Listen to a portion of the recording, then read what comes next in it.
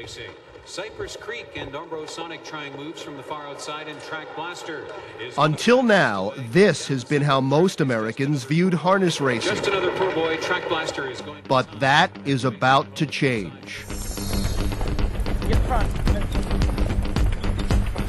From one of America's leading producers of reality television comes Starness, a daring new series that takes celebrities Come on. into a world of unexpected speed and fierce competition.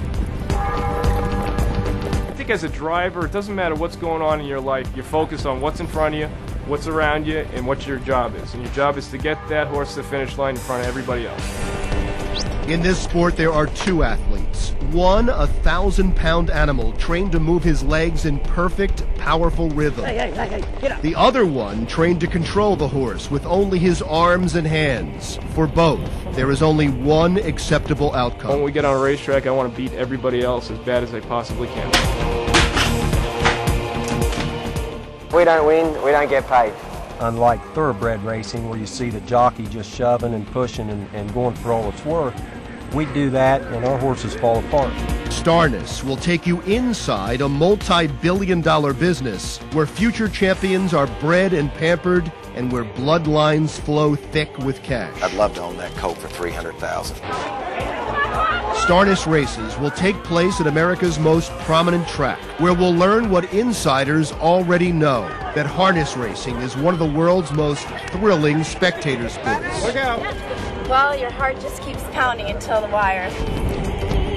You kind of feed off the adrenaline of everybody else. I love it. I'm like addicted right now. Behind the scenes, we'll capture the nervous moments before every race, when passion, talent, and grit come together. On the track, we'll take you so close you'll hear every hoofbeat and watch as drivers risk life and limb to be the very best. I don't care how much you work out and how strong you are. If that horse makes up his mind that he's going to run off with you, he's running off with you. Just remember going over top of the horse in front of me. Pretty much knocked unconscious. Don't remember much till I got to the hospital. We've assembled the nation's toughest trainers and leading drivers to teach celebrities what they need to know to survive and to win. Pay attention. Don't ever trust these horses. Don't take it as a joke. They're big animals and they can hurt you. Who will accept the challenge? Who will be brave enough to face down their opponents? And what celebrity will rise above all to become the definition of starness?